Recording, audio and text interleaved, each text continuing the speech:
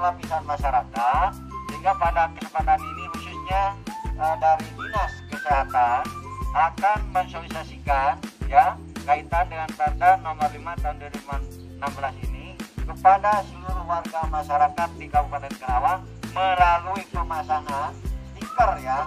Pemasangan stiker baik di tempat-tempat ya warung atau kendaraan yang sekiranya ya, kami dari Satpol PP Kabupaten Karawang sesuai dengan arahan Pak Kasat Pol PP Kabupaten ya untuk mengadakan sosialisasi secara terus-menerus kepada seluruh masyarakat yaitu kami datang ke desa-desa pada saat kegiatan rapat minggon di sana.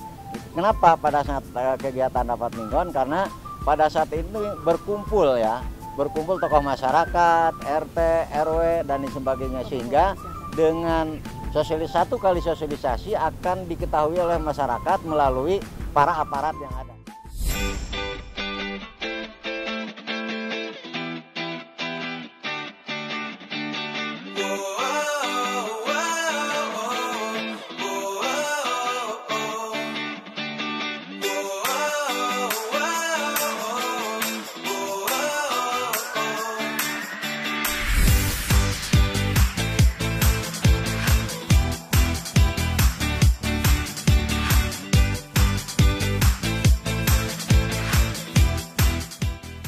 Mengikuti kegiatan sosialisasi dari Dinkes mengenai Hari Tanpa Tembakau Sedunia. Lalu uh, kita menempelkan stiker-stiker.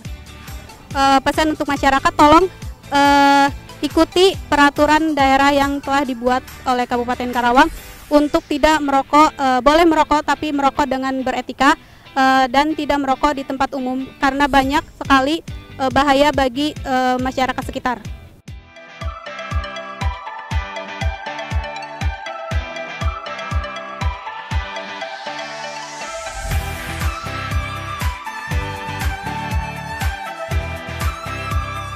Keadaan kegiatan ini di khususnya di Terminal Tanjung Pura gitu.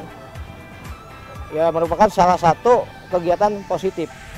Ya mungkin nanti ke depannya uh, kami akan menyediakan ya akan menyediakan area rokok khusus ya khusus untuk perokok baik ya, baik supir-supir angkutan umum ataupun pejalan-pejalan kaki ataupun pendatang ya itu akan kami sediakan di Terminal Tanjung Pura untuk ke depannya.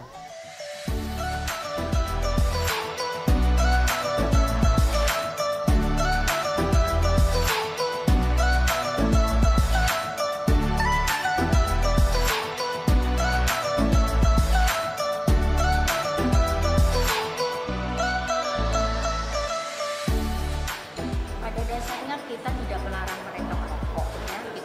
sama juga dengan Pol PP, Pol PP adalah penegak perda. Kita tidak melarang masyarakat untuk merokok, tapi kita berharap masyarakat itu kalau merokok pada tempatnya. Marilah kita beretika apabila kita merokok. Marilah kita tegakkan, sudah ada perbuknya, sudah ada perdanya, mari kita jalankan.